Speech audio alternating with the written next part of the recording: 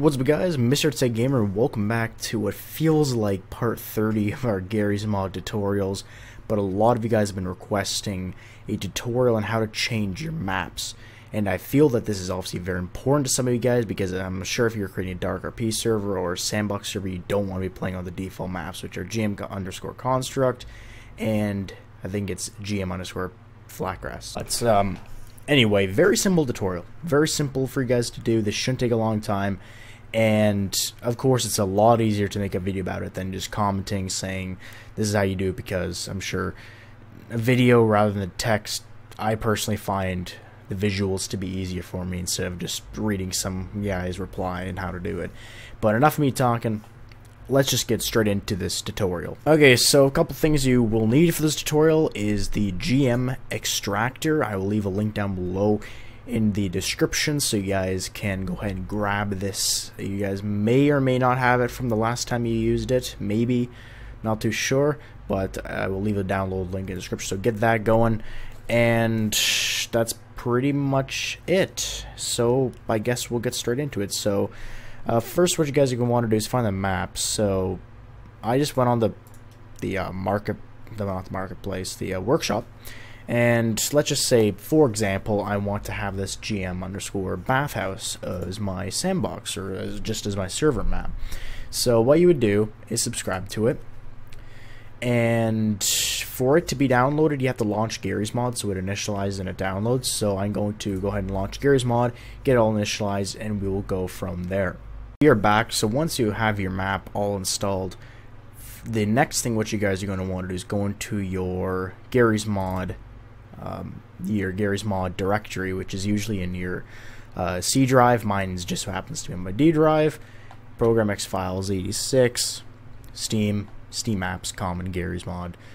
And once you are here, what you guys are going to want to do is go into your add-ons and find the map. So let's just say again, mine was the bathhouse one or bathtub. I, I forget already. Bathhouse.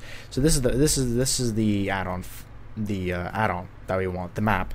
So uh, keep in mind, guys, also uh, the files might look different to you because I I using a different program here to to show my add-ons. So uh, if it's a little bit different, then don't worry about it. It's it's it's basically the same.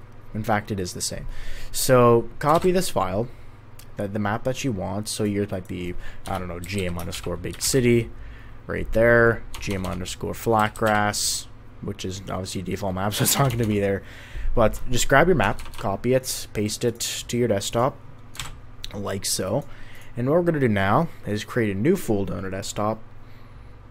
And there we are. So we got a new folder. So now what we're going to do is fire up that Gmad can extractor. Remember that program that we used to extract add-ons from the previous video of how to put add-ons in your server? Well, we're using the same program.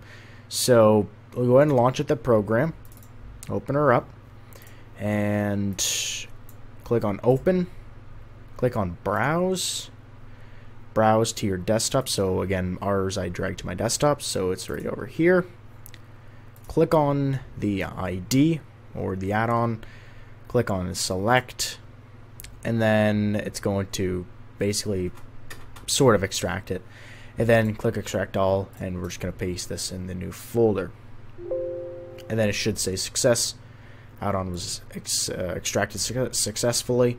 And we can close out a Gmad extractor and close that. And in the new folder, go into maps and then this BSP file. Very important, you guys. This is very important. You have to do is copy this. So Control C, right click, copy, whatever. Got to make sure they copy this.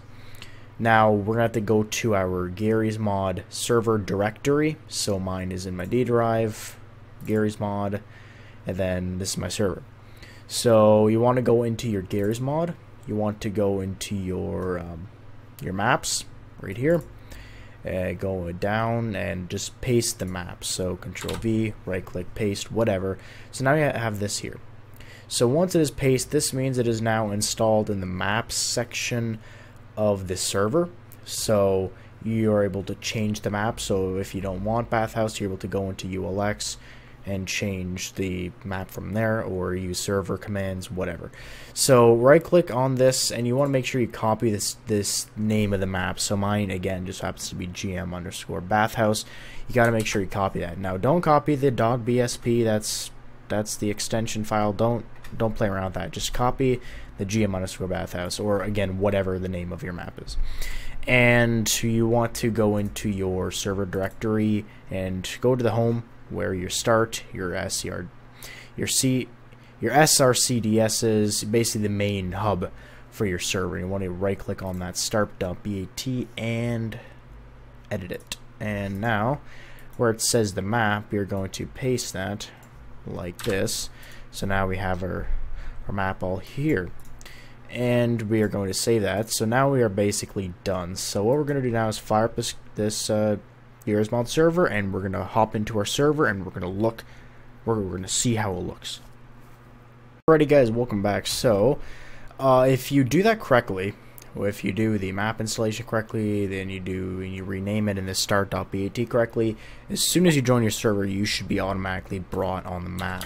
So basically, this is the map that's installed. So I originally had GM underscore big city.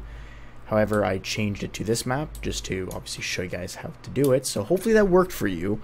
If it didn't, then leave a comment and I will try my best to help you out.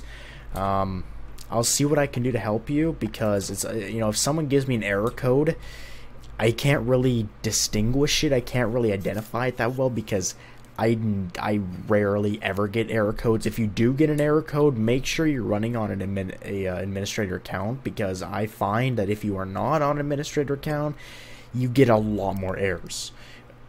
I don't know why, you know, files sometimes require administrative privileges to work properly in programs and executive files, but I mean, that's pretty much the tutorial. I mean, it should work for you guys. Hopefully this, you know, helps a lot of you guys, I hope.